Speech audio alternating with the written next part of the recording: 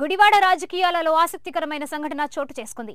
రెండు వేల పంతొమ్మిది ఎన్నికలలో దాయాదులుగా తరబడిన కొడాలి నాని యలవర్తి శ్రీనివాసరావులు ఎన్టీఆర్ స్టేడియం కార్యక్రమంలో ఎదురెదురుపడి అప్యాయంగా పలకరించుకోవడం జరిగింది.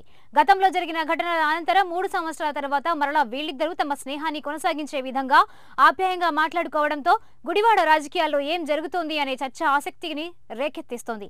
కొంతమంది వైకాపా నాయకులు మాజీ municipal chairman Yalavarthi Srinivasa Rao December ఇరవై మూడవ తేదీన మరలా ముఖ్యమంత్రి వైఎస్ జగన్మోహన్ రెడ్డి సమక్షంలో పార్టీ కండువా కప్పుకొని వైకాపా పార్టీలోకి చేరబోతున్నారు అని మాట్లాడుతున్న మాట మాటలకు ఈ కలయిక మరింత బలాన్ని చేకూర్చుంది.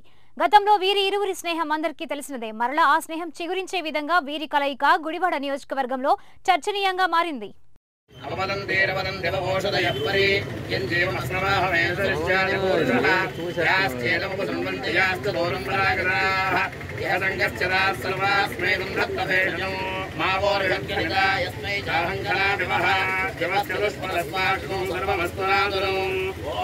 सम्बन्ते सोमेन सहराज्ञाः यस्मै प्रारयामसि